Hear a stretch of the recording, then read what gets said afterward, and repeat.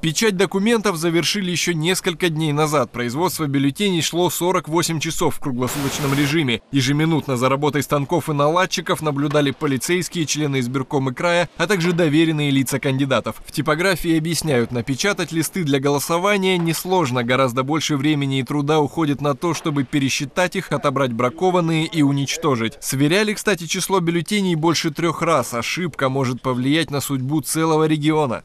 Они запечатываются все полностью, а потом, значит, э, после печати отсортировываются какие-то бракованные бюллетени. Потому что существуют какие-то там марашки или еще что-нибудь.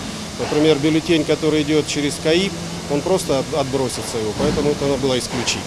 1 миллион 962 тысячи 500 бюллетеней сегодня под роспись были приняты лично председателем Краевого избиркома. Из них 72 тысячи рассчитаны на подсчет не человеком, а КАИБами, машинами для подсчетов документов. Каждый лист защищен тангирной сеткой, и все они не отличаются друг от друга даже под пристальным оком увеличительной лупы. Бракованные листы, а такими могут считаться бюллетени даже на миллиметр отличающиеся от шаблона, сегодня же уничтожили специальными машинами.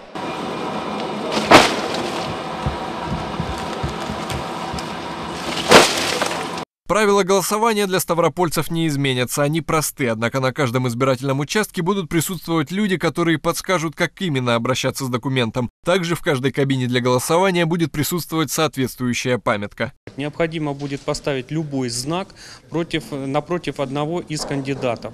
Если будет стоять два или более знаков напротив кандидатов, этот бюллетень будет считаться недействительным. Если не будет ни одного знака проставлено напротив кандидатов, этот бюллетень также будет считаться недействительным действительным. То есть один знак напротив одного, кандида... одного из кандидатов.